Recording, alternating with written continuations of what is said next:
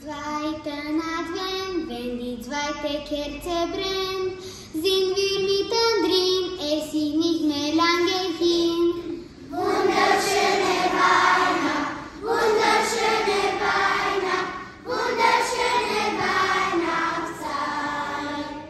Am dritten Advent, wenn die dritte Kerze brennt, ist